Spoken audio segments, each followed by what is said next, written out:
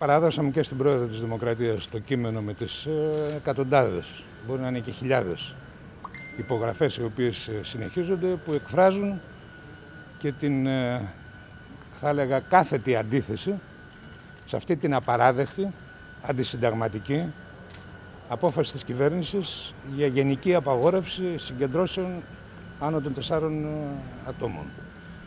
Ε, και επισημάναμε ταυτόχρονα την υποκρισία της κυβέρνησης που χρησιμοποιεί την πανδημία του κορονοϊού.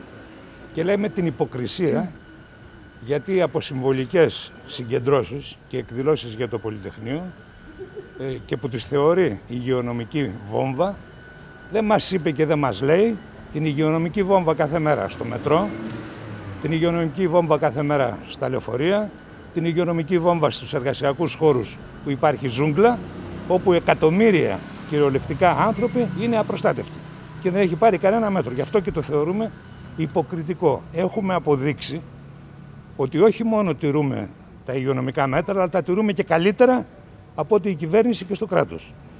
Γιατί ενδιαφερόμαστε για τη ζωή ε, των εργαζομένων πρώτα απ' όλα και για την προστασία. Επομένως, η όλη αυτή απόφαση της κυβέρνησης θυμίζει άλλες εποχές και καλούμε το λαό να την πληρώσει με το ανάλογο ε, νόμισμα. Εκδηλώσεις συμβολικές θα γίνουν. Δεν πρόκειται να υποχωρήσουμε στο στόχο που τον έχουν ονειρευτεί κι άλλοι να καταργηθεί να καταργηθούν οι εκδηλώσεις του Πολυτεχνείου και ιδιαίτερα η παρουσία στην Αμερικάνικη Πρεσβεία.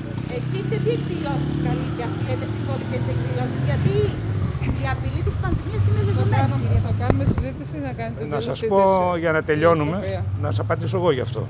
Τις εκδηλώσεις που θα γίνουν συμβολικές θα τις αποφασίσουν οι φορείς και όχι τα πολιτικά κόμματα. Είναι εδώ ο Νίκος ο Τριανταφύλλου, Γενικός Γραμματέας του ΣΦΕΑ και είναι και τα συνδικάτα, είναι όλοι αυτοί οι φορείς οι οποίοι διοργανώνουν για τη φοιτητική σύλλογη κάθε χρόνο εκδηλώσεις. Φυσικά, φυσικά κυρία Ρουμελιώτη, να ξεκαθαρίσουμε κάτι εδώ. Δεν είμαστε στον ουρανό, ούτε είναι μια συνηθισμένη κατάσταση. Από την αρχή επισημάναμε ότι στηρίζουμε εκδηλώσεις που γίνονται παίρνοντας υπόψη την κατάσταση που υπάρχει εδώ. Από αυτό, ώστε να μας κλείσει το στόμα και να μας απαγορέψει να μαζευόμαστε πάνω από τέσσερις, καταλαβαίνετε ότι υπάρχει μια τεράστια απόφαση και δεν θα πειθαρχήσουμε.